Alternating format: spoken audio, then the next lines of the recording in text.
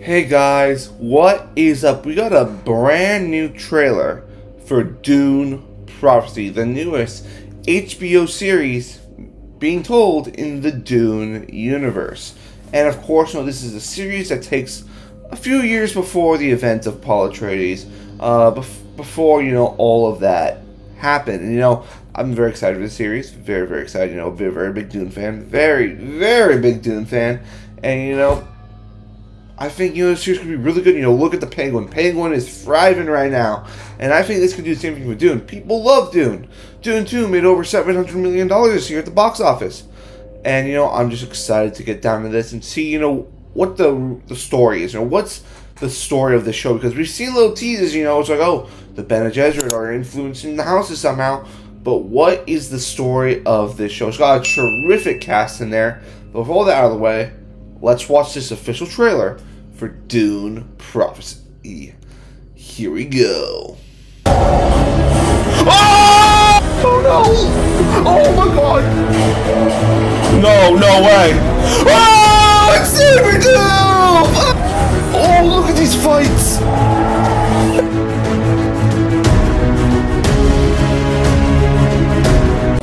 Oh.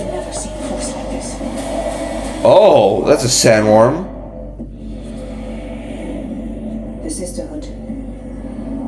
CG looks great. From many worlds. To advance our species and govern the future Oh. Here we go. is fragile. The Oh, there's Mark Strong. The Trades. Now is the time. Is that Kaladin? Secure the throne and protect the Imperium. Ah. Starting the bloodline into the houses.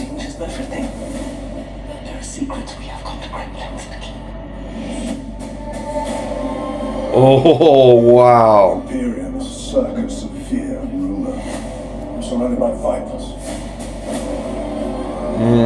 Very Game of Thronesy. Lose control of Arrakis. The great houses would feed me to the worm. Oh. From Vikings. Ho ho ho! Your Majesty, the troubles are far greater than just Arrakis. Oh, this looks r- um, really good so far. Hidden in plain sight. I'm the only one that can tell you the truth. Very much a Game of Thrones like type story, it seems like. To wipe out every trace of existence from our world. That is why I've been gifted a great power. What power? What the hell? Consider me a true believer. What?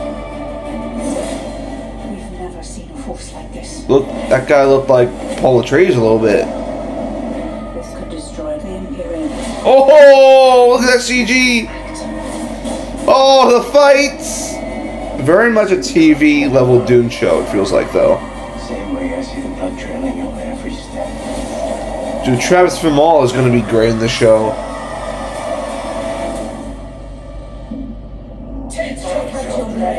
Oh, fear is the mind killer.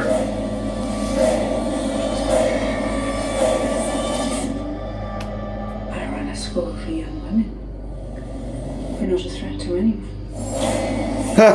yeah, uh, that's a lie. Woo! Dune Prophecy, ladies and gentlemen.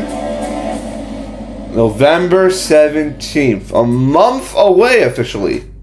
Alright, guys, so that was the official trailer for Dune Prophecy. This series looks.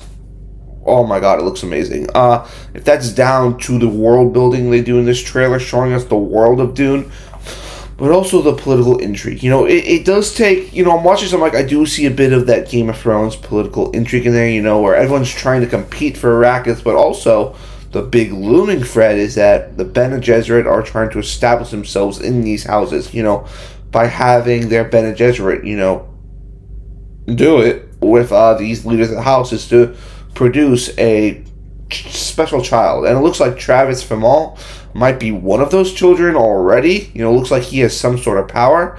You know, uh, that's what I'm kind of getting from the show. You know, them just trying to establish their power in the houses. You know, creating the myth of who Paul Atreides was going to be to be Muad'Dib, you know, the legend, the prophecy of Muad'Dib, them creating that, installing it in Iraq, installing it across the universe. And I do think Mark Strong is playing a character in the house, uh, in House of, in uh, the House of Atreides. You know, I think he's the main guy ruling there. Uh, we do see a guy who kind of looks like Timothée Chalamet. Uh, but we know that this takes 7,000 years later, so that can't be his father. That can't be, you know, anyone that he would know because this takes thousands of years before, you know, uh, Paul Atreides even existed. So if you're looking for, like, connections to, like, the OG movies, like, the only one I'm to really see to the original movies is going to be, you know, just the houses' names and maybe, you know, there's some name mentions, you know, probably in those Dune movies that might be mentioned in the show or might be characters in the show now.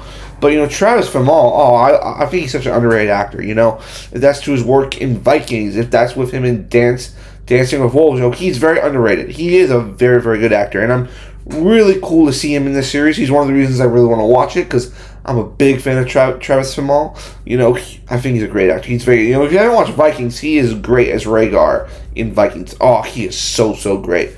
But I think this is gonna be a hell of a time. Uh, it's definitely a show we're gonna be watching on the channel. Definitely, it's Dune. You guys, I, I love Dune. I love Dune two. It's like there's nothing right now that's come out that I think will beat Dune two, unless you know there's another perfect movie that comes out.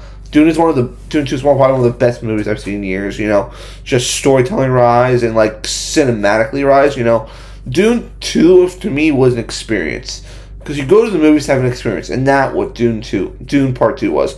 But what do you guys think? Are you excited for Dune Prophecy, or are you are you like, eh, I'm kind of over my Dune fad now? You know, personally, I'm not over my Dune fad. I'm still into my Dune fad because I love Dune. I love this universe. I love Dune. But guys, leave comments down below, like the video, comment on the video, and subscribe to the channel.